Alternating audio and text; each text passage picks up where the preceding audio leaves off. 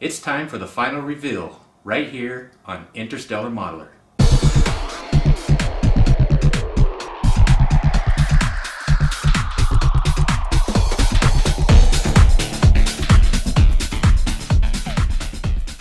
Well, I hope everyone had a Merry Christmas.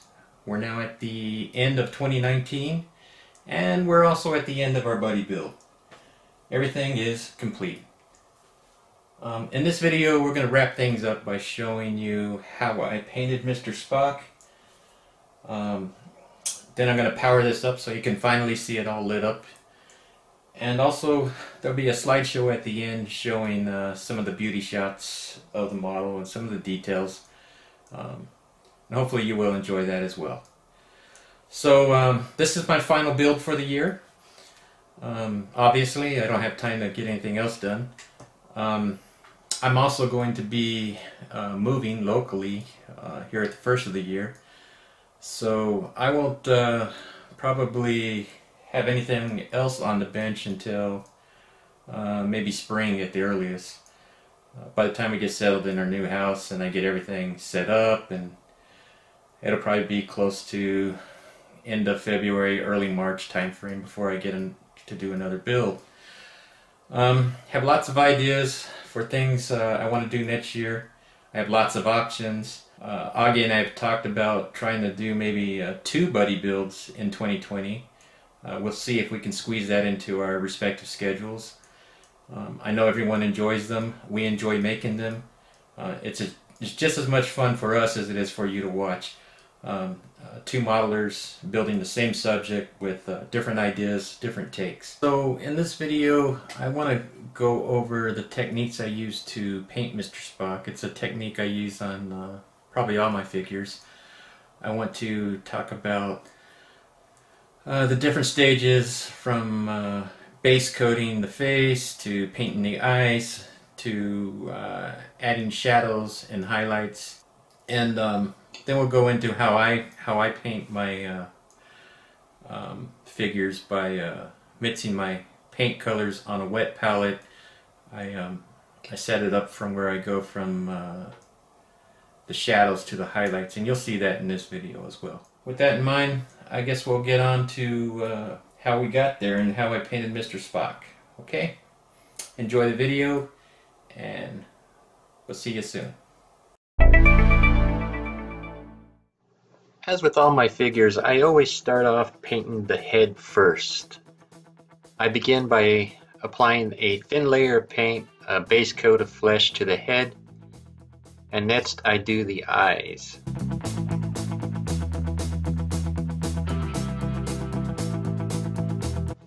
So my eyes are always started off by painting the eyeball with a white flesh color. Then the uh, irises are done um, using appropriate colors. In Mr. Spock's case, it was uh, browns, and then um, followed up with a black for the pupils. The flesh tones on Mr. Spock are a little bit different from what I normally do. Um, in this case, I have a 50-50 mix of basic skin tone and beige red with some ivory added in to give his skin tone kind of a yellow hue um, I wanted it to be similar to the makeup that Leonard Nimoy actually used during the filming of the original series.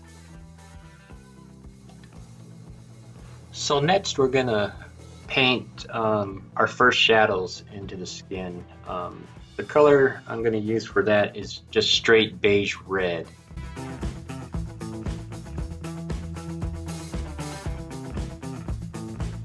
As we turn to the face itself, Keep in mind that our shadows and highlight areas are the keys that establish the shape of our face.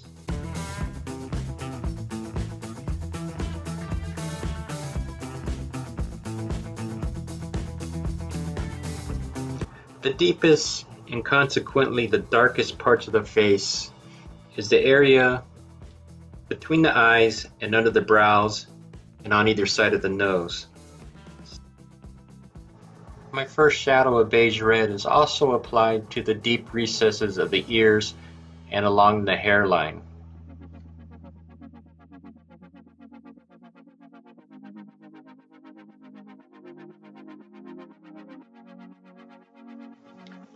So one of the biggest challenges in painting faces is that there is so much to do in such a small area. For this reason, it's not generally a good idea to lay in your full range of colors all at once. So I find it more useful to only block in my base color first, then my shadows, and then my highlights. You want to blend these first, then then go on to a lighter highlight and deeper shadows as required. Oh, some shading is added to the hollows of the cheek. Somewhat less dark will be the underside of the chin, under the nose, and under the upper and lower lips.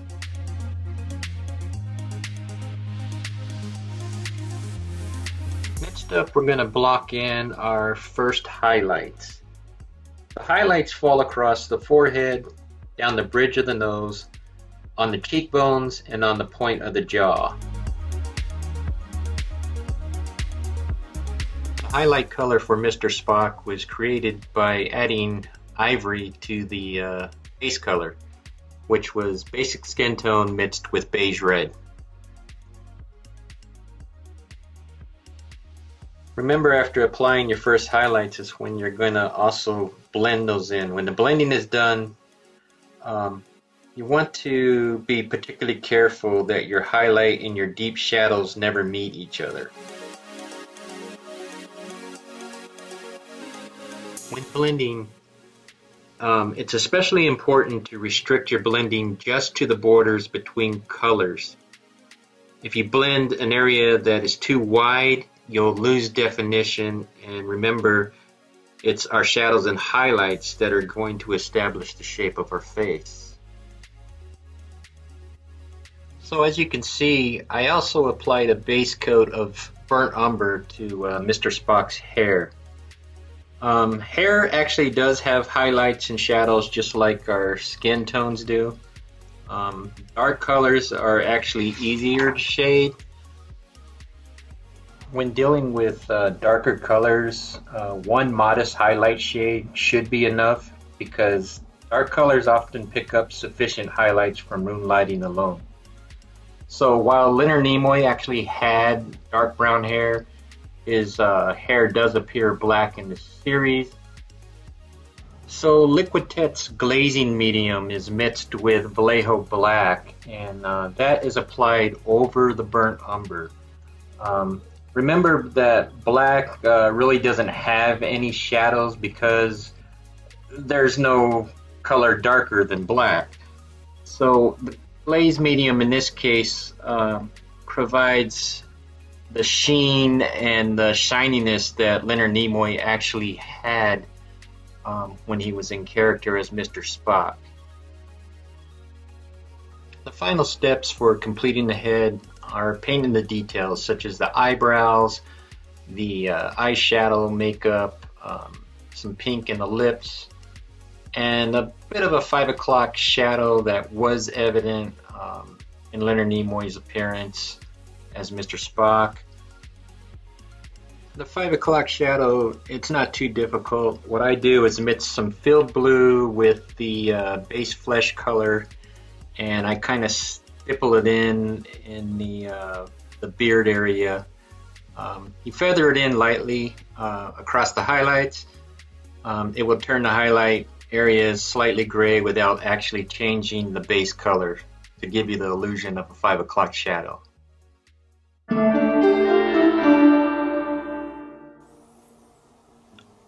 So now that we are done with Spock's head, it's time to paint his uniform. So these are the shading and highlighting colors that I've chosen to paint Spock's tunic. The colors are placed on my wet palette. From left to right, we'll have a gradual transition from our light highlights to our deep shadows. The paint recipe I'm using here is actually based on the one my friend Joe Hudson used when he did an article for Fine Scale Modeler in the May 2018 issue on painting Mr. Spock's uniform.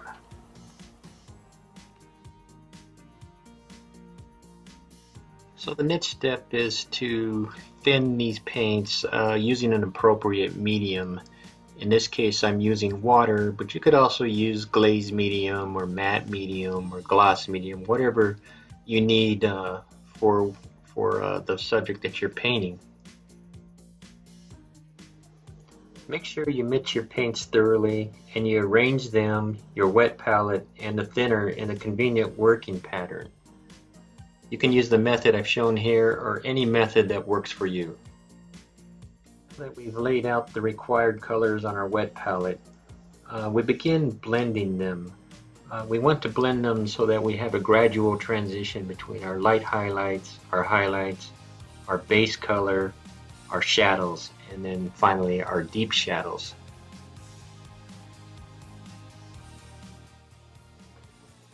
This initial step in painting our uniform is to mix your basic color, your highlight color and your shadow color. Remember that the basic color is the actual color of the uniform. The highlight is a lighter version and the shadow is a darker version.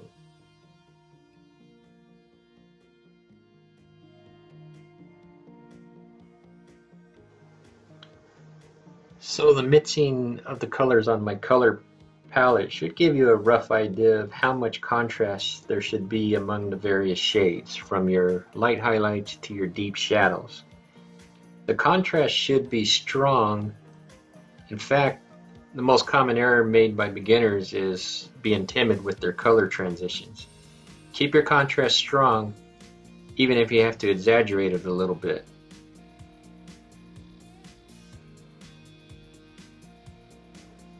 With practice, you'll soon learn that blending, not the colors, is what gives figure shading its subtle effect.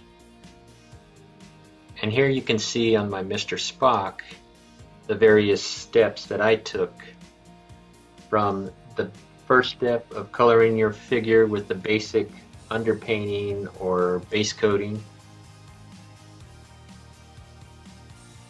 to introducing some shadows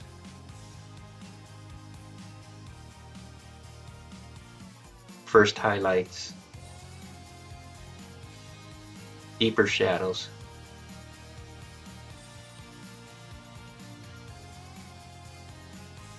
high highlights, and blending it all together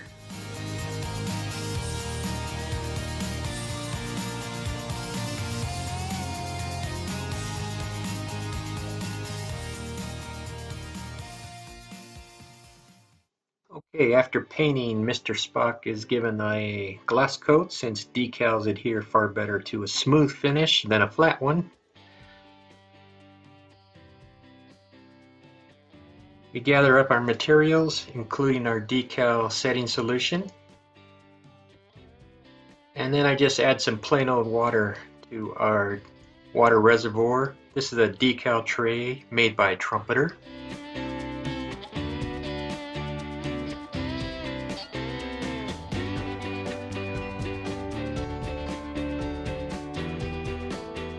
The main objective of applying realistic decals is to de-emphasize and hide the carrier film, so trim it back as much as possible.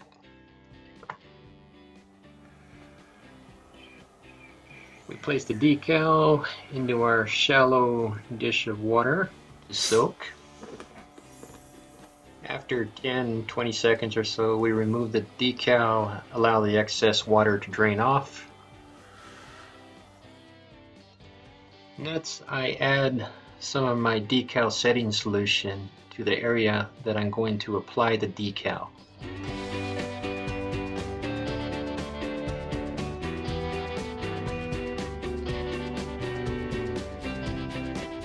Okay, position the decal onto the model and gently slide the backing paper out from underneath it. Next, I carefully adjust the position of the decal by gently prodding it with a paintbrush.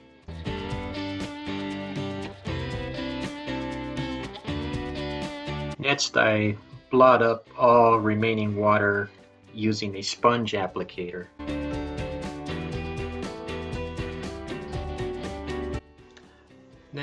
You can apply more decal setting solution as needed. You can use Microset or Microsol, which is a stronger version. Um, but they're, they're all solvents that actually soften the decal carrier film and allow it to conform better to the model. And finally, we add our photo etch communicator antenna. We paint up our phaser and we paint our not so accurate tricorder but we give it some uh, detail painting to uh, make it look pretty pretty close. The final step is to apply a clear flat coating to further hide the edges of the decal film and to protect the decals. All right, well, I am back, and Marc has done a phenomenal job with his bill, as well as being a great guest host for the last couple videos here. I'm hoping to uh, get him to be a guest host on a couple videos this coming year, uh, so we'll see if he can fit that into his schedule. But um, before we go on to the final reveal here, uh, I want to make a quick note about my build. So when I um, posted part two, uh, I had a couple comments posted um, uh, under that video uh, that made reference to the fact that I had forgotten about Spock's boots, and I actually really did. Um, I, I didn't even think about it. But Spock wears knee-high boots in the episode, and uh, you know I had just um, uh, settled on this idea that I would just leave him as is. I was happy the way he turned out, but you know, based on those comments, giving it some thought, I decided to pull him off the base, and, and as you can see here, just uh, ground down uh, the pant legs. I was afraid that uh, this would leave. Um, uh, a problem with stability for the figure, but I was really careful about doing it, and I applied epoxy sculpt putty to uh, shape the boots. At first, I was really uh, kind of disappointed that I had proceeded with this because they weren't really looking right. But I was encouraged to push forward, and I'm so glad I did. I worked on thinning out the boots, and this is the way they came out. In the end, I'm really happy that uh, that uh, these guys made those comments and um, got me to uh, to adding that final detail. So um, the video is running a little bit long, but I think we'll just go ahead and push ahead with the final reveal. So let's begin uh, by me making a few comments about my build first. All right, well here are the completed projects now, and first to look at them side by side. Now, as you know, I wanted my model to look like uh, the box art, which meant to use similar colors and paint schemes. I think overall it worked out pretty well. Obviously, the one alteration I wanted to make was to make Spock appear from the mirror universe, and this meant using something to alter his uniform. And uh, so this turned out to be a great learning experience for me because it was the first time I used epoxy sculpt to really mold or sculpt anything. And uh, it was a great material to use because it not only worked for his uniform, but also worked for the added features that we see on the base. Also, couldn't be happier with the backdrop. I was able to mimic what was seen on the box art uh, because essentially that's what I used. Uh, as you saw, I scanned an image of that art, and using my Photoshop skills, I was able to remove the images of Spock and snakes, and I think it turned out well. Um, I owe the final touch, of course, here to Marc Fraley, who gave me that little Enterprise you'll see flying up there in the corner. Uh, this, of course, is the Enterprise from the K7 AMT model. As for lighting, this is something I always envisioned uh, with this model kit. Um, I used SMDs from my favorite source, ModelTrainSoftware.com.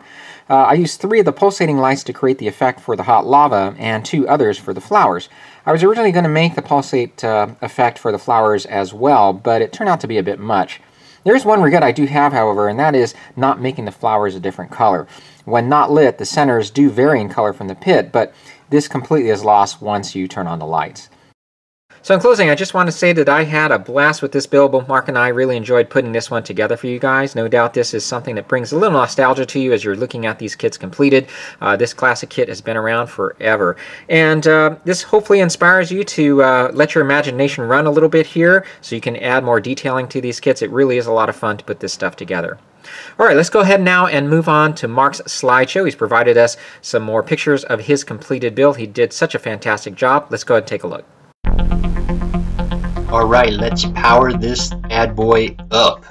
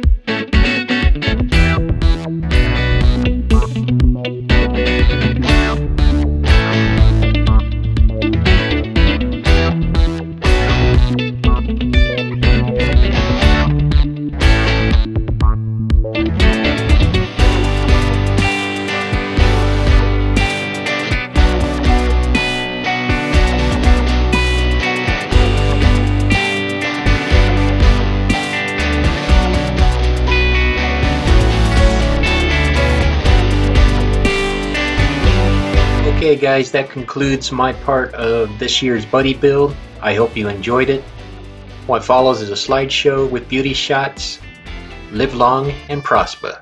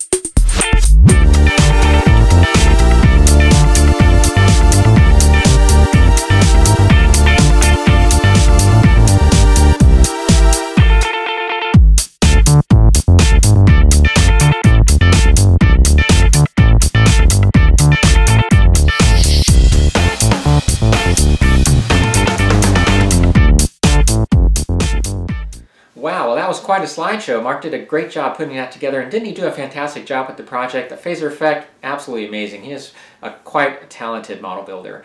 So this brings the end now to this project as well as to 2019 and the end of the decade too. Wow, just amazing that 2020 now is just around the corner. I wanted to wish you guys all the best for this coming new year. Um, I just hope that there's a lot of good things in store for you, that you'll have a healthy, happy 2020. And that uh, also I appreciate your encouragement and all the support you've given me uh, through the years here and with the channel. Uh, certainly look forward to putting more stuff together for you guys in 2020.